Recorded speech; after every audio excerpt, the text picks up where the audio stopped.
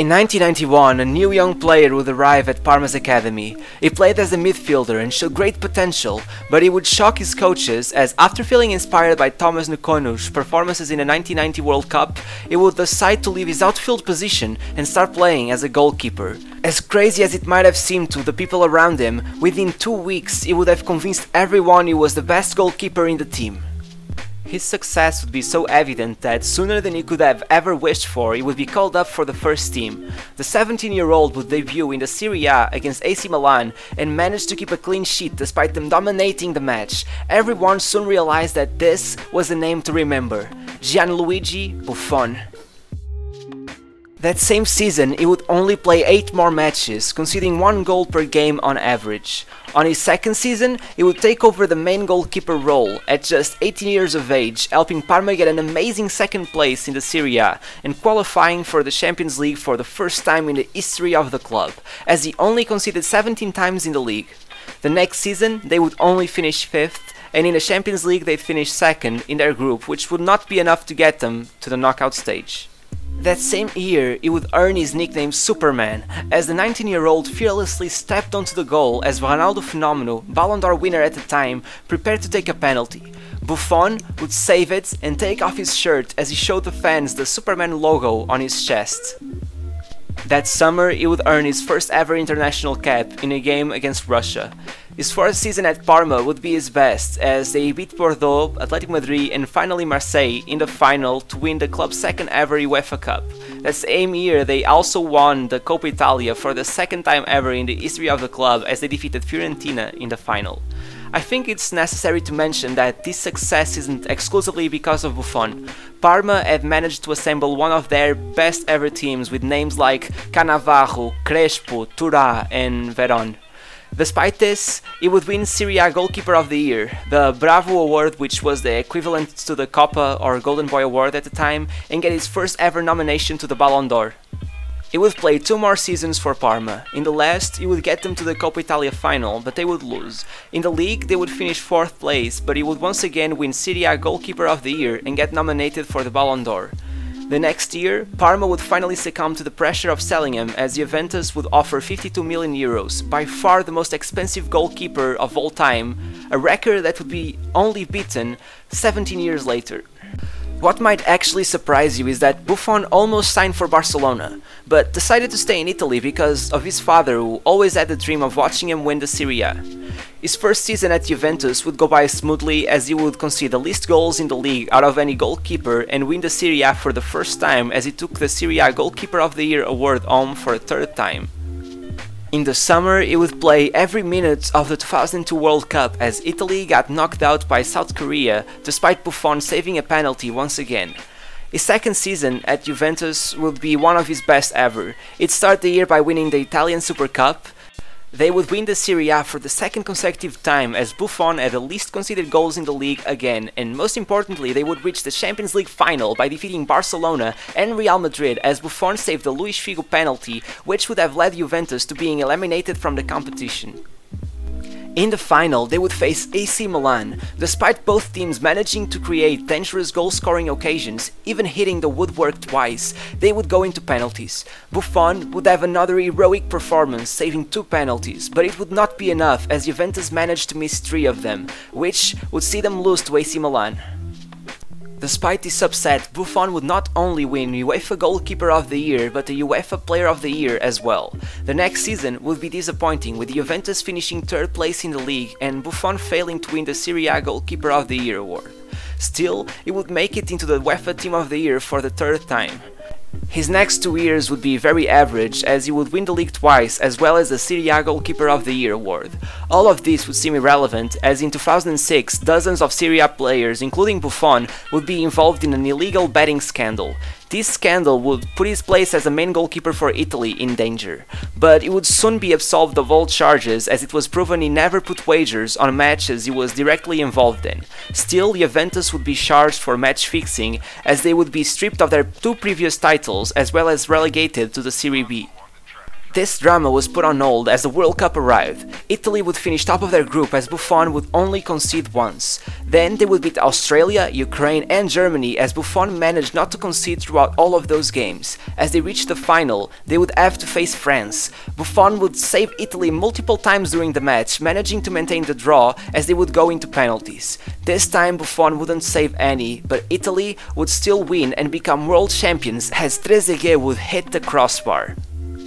Despite playing the rest of the year in the Serie B, Buffon would finish second place in the Ballon d'Or, the fourth goalkeeper ever to make the podium, and only the second to get second place or better as Lev Yashin managed to win it in 1963.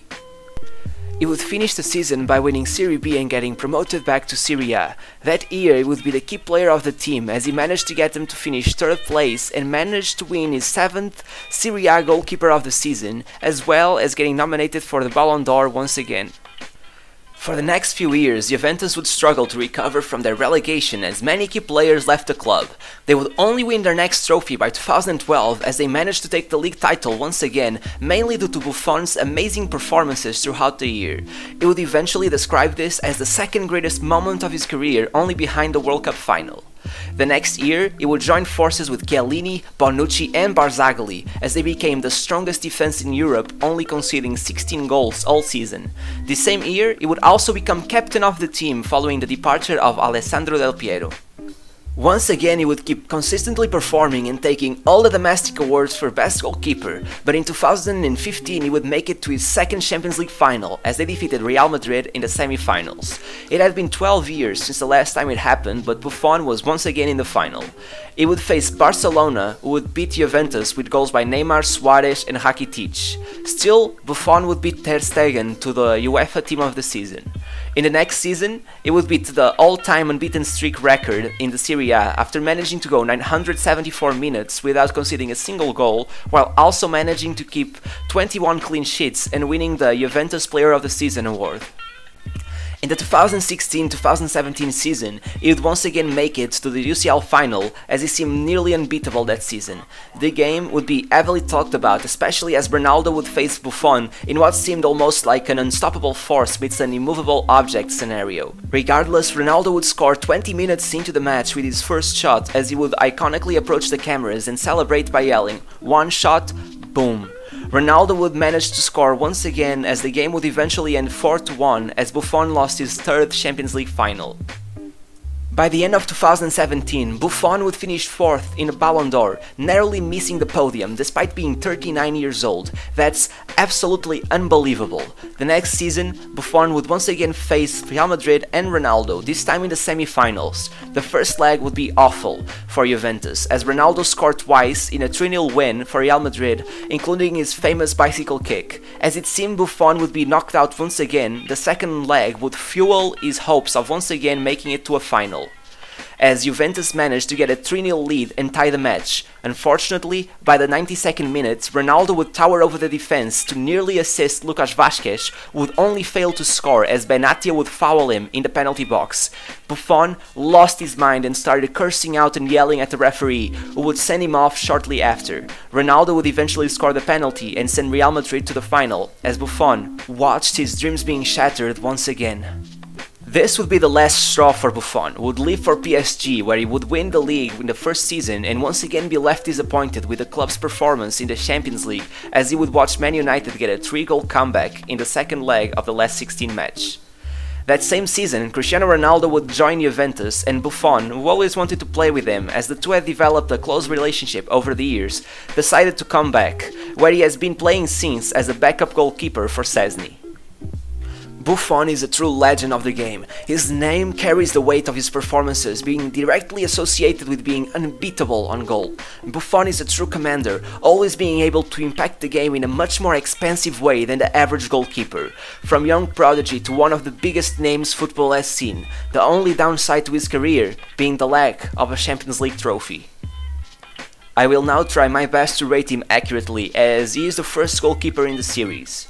First, we will judge him on his reflexes, which are probably the most stunning ability he has and easily earn him a 10 out of 10. Then, is positioning, which was mostly immaculate, rarely being caught off guard, he gets a 9 out of 10. The third attribute is communication, mainly with the center backs of course. He was amazing at this, easily commanding the defensive line. He gets a 10 out of 10. The fourth is shot prediction. This one is hard to assess as he did get some clutch penalty saves but he always faced criticism for this part of his game and he gets a 7 out of 10. The last one is mentality. He's always been a calm player and he is notorious for that, but it's hard to forget the few moments where he completely lost it, so he gets an 8 out of 10. Getting into his legacy, first we will take into account his consistency. He was always very good in Italy, but he never spent a considerable amount of time outside of his home country, so it's hard to assess just how good he would be, but due to his good international record, we'll get him an 8 out of 10.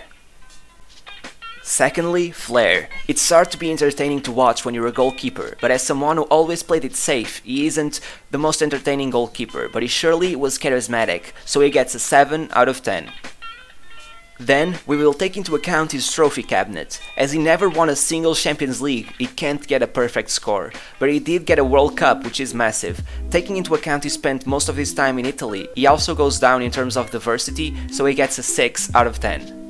In terms of longevity, he has to get a perfect score, as he has played for 26 years already. Lastly, the icon factor. It's pretty simple. Every 90s kid who went to play in goal would pretend to be Buffon. He is one of the biggest football idols of his generation, easily a 10 out of 10.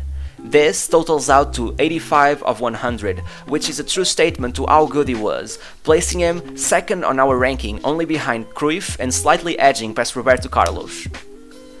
It's really hard to dislike a player like Buffon. He has always been a great guy, even with his lower points in life.